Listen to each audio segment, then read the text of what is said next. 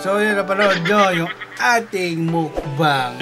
Gusto lang namin ma-experience kasi naalala namin dati. Meron kaming clip, tumubo kami ng sobrang anghang Korean noodle. Namiss namin yung tinatawag na uncomfortable pleasure. Ito lang nga, actually hindi naman ako nag-post pero may mga napag-usapan kasi dati na questions. Taga lang. Ano daw yung usually na ginagawa ng Just Like This TV? So, gusto ko entitlean to vlog na to na What's up with Just Like This TV? Let's go! Unahin natin kung ano nga ba yung ginagawa namin. Kapag nag-iisip-isip, kasi dito sa bahay wala kaming helper. Napapansin nyo naman sa vlogs natin, sa episodes natin. Kaming dalawa ni Wifey ang nag-aasikasa ng lahat-lahat ginagawa ko ay get my cellphone or online. Uh, meron kasi 'di ba mga online radio? Kasi kapag usually pag yung phone lang ito kapag yung yung mobile app mo lang na phone na radio ang problema kasi sa ganito hindi mo siya ma-activate. Yan hindi ko alam kung makikita niya. Hindi ay tira may notice na lumalabas sa baba, hindi mo siya ma-activate kapag hindi nakasaksak yung earphones. Ang technique ko dyan, hindi lang ikaw yung nakakapakinig, I plug it sa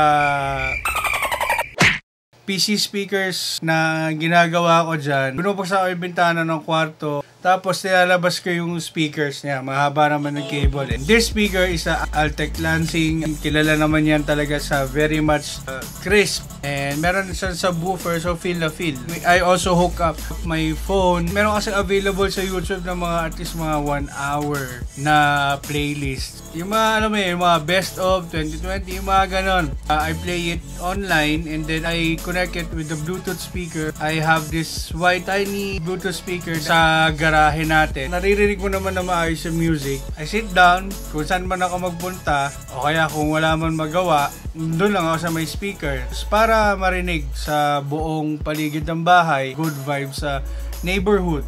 Kasi mas less din na tamaan ka ng sakit. Madalas nagiging weak yung immune system natin kasi we're stressed, hindi maka-function na maayos yung inner bodies natin. And, of course, before I forget, syempre, pagkagising sa umaga, wala akong ibang ginagawa kundi magdasal. And it's a joy actually to kneel down just to talk to God. We do it first thing in the morning. Tapos na tayo dun sa prayer, tapos na rin tayo dun sa music. So ngayon naman, punta tayo dun sa, ito yung pinaka tinatanong eh, uh, sino ba talaga pinapanood ni Just Like This TV to be inspired. Disclaimer, pagdating naman sa that doesn't mean na pinapanood namin sila. Ginagaya na namin sila, sumasang-ayon kami sa kanila, sa ginagawa nila everyday. Again, the question is, sino lang ba yung mga pinapanood namin?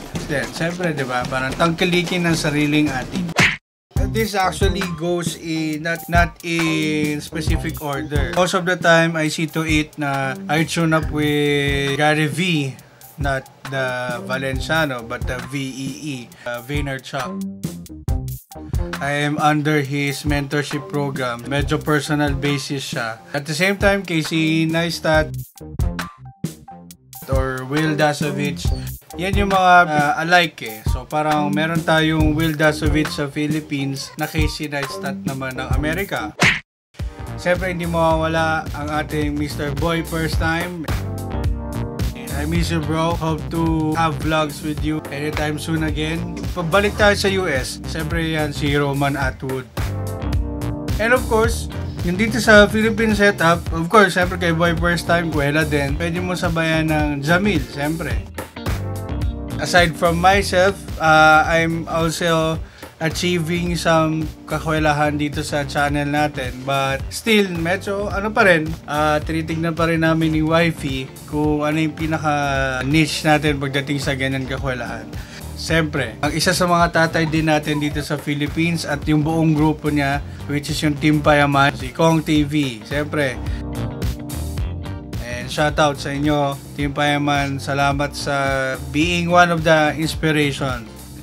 And reason si Wifey naman, kila Chad Kini, siyempre, si Lloyd Cafe Cadenas. Alam mo na yan, Lloyd. Gusto mo yan? Gusto, gusto ko yan. Ayan, si Maring Lloyd, ano yan eh, yan yung isa talaga sa mga pinaka-nauna dito sa Philippines. So, don't forget to subscribe to them. Gusto ko rin binibisita yung channel ng aking baby baby. For quite some time, medyo tinulungan natin siya ma-inspire na mag-YouTube din. Siyempre si Ate Miles Ocampo. Hello! Eh, nakakamiss ka. Hope to see you soon again. Yun lang, ah yun lang naman yung question eh. Kaya thank you guys for those questions. This time, I'm hoping na makapag-post kami sa Twitter and Instagram kung gagawa kami ng poll kung ano ba yung mga pwede nating gawing for question and answers. Nakikita nyo kami dalawa ni Wifey na will be speaking together to answer those questions. No. Uh, Siyempre, gusto namin yung magiging subscribers namin genuine, hindi pinilit. Salamat sa mga bagong grupo na pumasok sa channel natin. Taos puso po kami nagpapasalamat for just 2 weeks. Hindi naman sobrang nag exponential yung paglaki natin, no? Pero dun sa app na ginagamit ko to monitor my performance, kadalawang awards tayo just like this TV ng achievements medal. Uh, bihira yun eh sa channel natin, syempre ilan lang naman tayo mga mahal. So parang salamat talaga sa bagong grupo na pumasok. And sa bagong grupo din na inimbitahan ako to be one of them. And soon malalaman nyo kung sino yan. Napakalaking salamat po ni, sa inyo boss. Boss, alam nyo kung sino kayo. And magkausap tayo for 2 days already. And I'm looking forward for more. And again, dun nga sa pag-uusap natin, ang pangarap ko, yung grupo natin, guys, mga mahal, eh sabay-sabay tayo makikita sa YouTube FanFest sa Entablado.